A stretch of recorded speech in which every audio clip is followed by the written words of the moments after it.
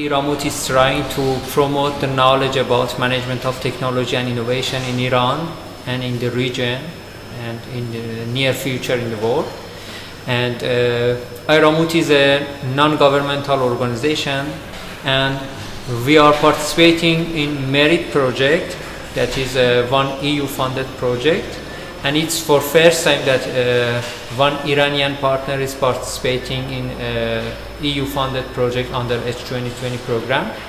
Uh, we are trying to prepare the scene for uh, more participation from Iranian STI actors uh, by uh, holding some events and some meetings in, inside Iran or outside Iran like this. for example, we have some we have a info day in Iran, in Tehran in December 2015 and uh, we gather more than 60% from Iranian STI actors in a, a, a, conference hall.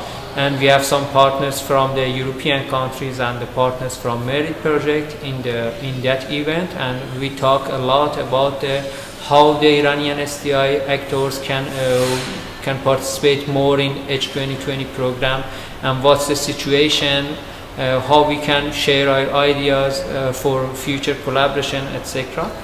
And actually, uh, after the nuclear agreement, successful nuclear agreement with, between Iranian and Western countries, uh, the international situation is uh, really uh, very better than before.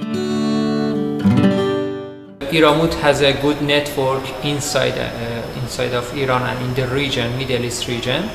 And based on, uh, based on uh, these well-developed networks, we announced about the MedSpring event, MedSpring Brokerage and Venturing event in Bari in uh, May 2016 in all uh, networks, actors of uh, IRAMOT.